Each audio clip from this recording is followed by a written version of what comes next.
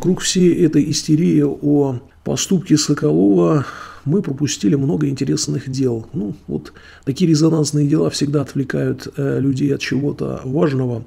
Кстати, тем, кто по-прежнему будет пытаться и здесь доказывать мне, э, что я идиот и тому подобное, ребята, мимо проходите, просто спокойно перемещайтесь на другие каналы, нет проблем. Э, дело на человека обязательно навесят, тем более травля Соколова была в течение года. Кто в этом заинтересован, мы знаем. Если будет время, когда-нибудь сделаю ролик о голубой мафии России, о гомолоббистах. Если вы вдруг не в курсе, то в России очень легко сделать карьеру и вообще замечательно жить, если ты являешься гомосексуалом. Ну, это отдельная тема. А сегодняшним героем ролика станет еще один гомосексуал России Максим Галкин. Ой, извините, я, кажется, оговорился. Конечно же, вы не знали и будете биться в истерике, что это отец э, счастливого семейства, любитель пожилых э, женщин и так далее. Ну вот, а я знаю, как и большинство здравомыслящих людей, что а, его судьба мало чем отличается от большинства людей нетрадиционной ориентации, которые вынуждены скрываться в России, никак не могут рассказать, так сказать, о своих настоящих предпочтениях. Ну, сейчас речь точно не об этом. Если вам интересно, пишите в комментариях, я сделаю отдельный ролик еще раз о голубой мафии. А речь о том, что неожиданно, замечайте, он тут, там начал высказываться – ну, во-первых, он очень мало времени проводит в России, вообще живет на Кипре. И как бы к России он отношение сейчас имеет очень слабое. Э, человек в совершенстве владеющий, как мы знаем, французским языком, у него есть возможность поселиться вообще в любой точке мира – а в России он ездит на работу, он там денежки зарабатывает. Вот такая история. На него трудно давить, он давно имеет э, кипрское гражданство. По закону можно иметь и российское, и кипрское, ну, замечательно. Э, все эти звезды купили себе там гражданство, потому что ну, в Кипре, как уже говорил, относительно дешево можно просто его купить, вложив миллион евро.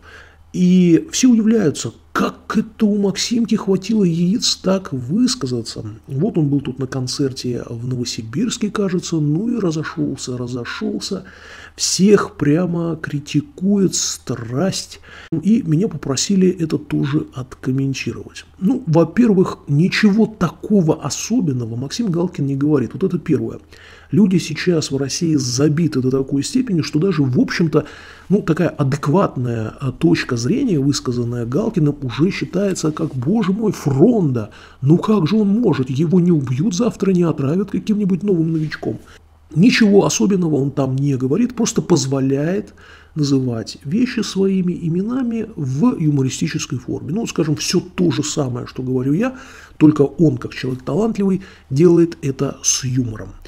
Если вам интересно, пройдите снизу по ссылке, я специально оставлю, посмотрите, действительно получите удовольствие. А для того, чтобы точнее обрисовать, так сказать, ситуацию, в связи с чем это прорезался голос у Максима, я зачитаю короткую статью интересного журналиста Александра Ходца – вот он охарактеризовал это действие очень четко. Но прежде чем я зачитаю эту статью, э, я еще только добавлю.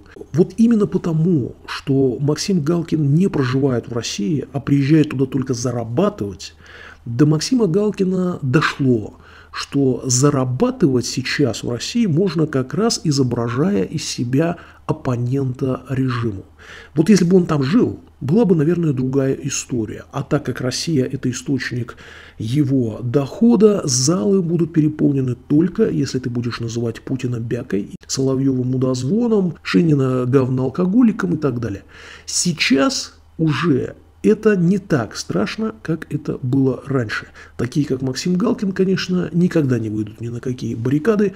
Они зарабатывают языком, как правило, имеют очень хороший нюх. То есть они сразу улавливают в воздухе, о чем сегодня нужно говорить. Хочу сказать, что это не говорит о высоких моральных качествах Максима Галкина. Это просто обычная работа на конъюнктуру дня. Ну а теперь статья Александра Ходца. Интересно наблюдать, как наиболее чуткие особи российской элиты начинают постепенно борьбу за репутацию в постпутинской России. Переобуться в воздухе не каждому дано, но сегодня слишком очевидно, куда катится режим, поэтому и фронта входит в моду. Музыканты, рэперы, актеры, юмористы покидают сытую стабильность ради слова правды. Если уж селебрити заговорили про свободу и цензуру, то не только крысы, но и целый зоопарк готов побежать с корабля. Кто-то позабыл про объятия и дружбу с пропагандистом Сурковым, начинает писать песни о пропагандисте Соловьеве. Кто-то, будучи лицом федерального канала, начинает обвинять их в возвращении совка.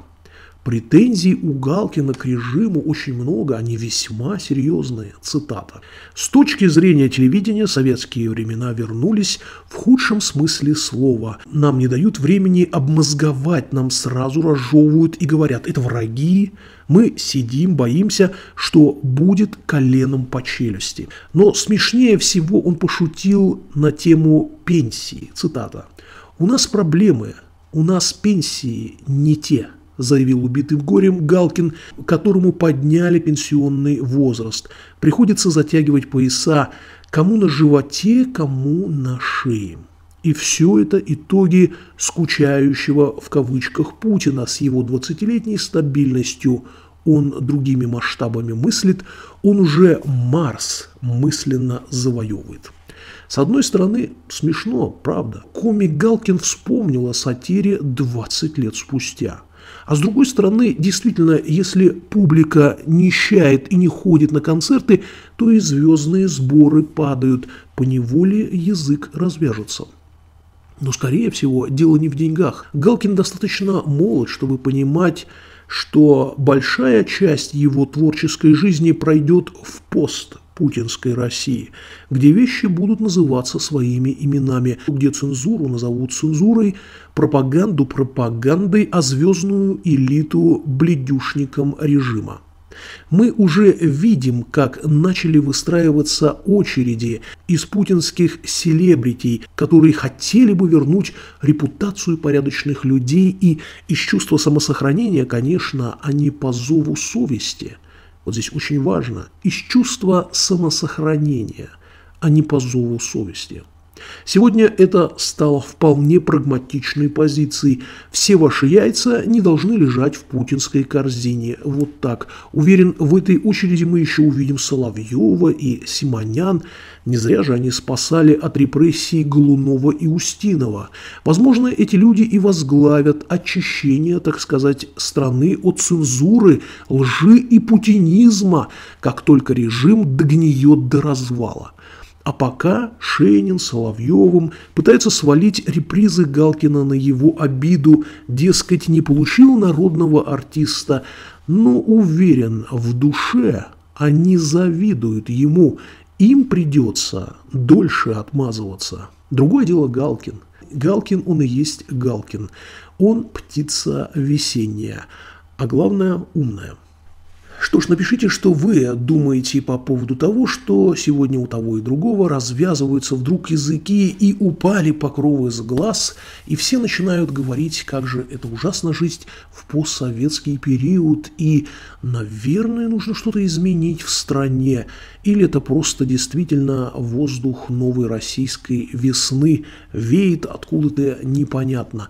Ну, а в чем я абсолютно согласен с автором, что сто процентов мы увидим еще такие феноменальные финты с переобуванием, когда господин Соловьев возглавит какой-нибудь комитет борьбы с путинизмом и очищения нового российского телевидения.